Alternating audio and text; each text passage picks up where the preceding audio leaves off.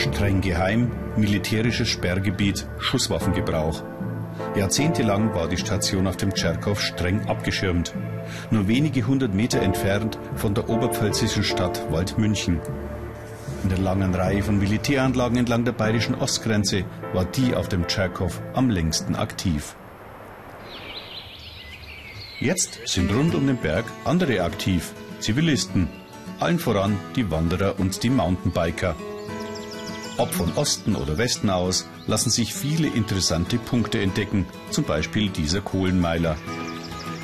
Viele derartige Anlaufpunkte hat Karl Reitmeier in einem Wanderführer zusammengefasst. 14 Routen sind es, jeweils sieben von Bayern und sieben von Tschechien aus. Bei der kürzesten ist man ungefähr eine Stunde unterwegs. Mittendrin Hahn und Henne, eine Plastik aus übrigem Material einer Wasserleitung, die vom Tscherchow nach Bayern führt. Vorbei auch an einer Oberpfälzer Kuriosität, dem rückwärts laufenden Wasserrad. Kein Trick übrigens, denn sonst würde ja der Bach aufwärts laufen. Heute kann man die Grenze problemlos überqueren, in jeder Richtung. Noch vor einigen Jahren wäre für Wanderer oder Radler hier das abrupte Ende gekommen. Reitmeier und seine Wanderfreunde gehen regelmäßig zum Tscherchow. Auf inzwischen bestens markierten Wanderwegen. Mit dem Auto ist es auch heute noch verboten. Dann endlich der Gipfel des Tscherchows und damit auch jene Anlagen aus der Zeit des Kalten Kriegs.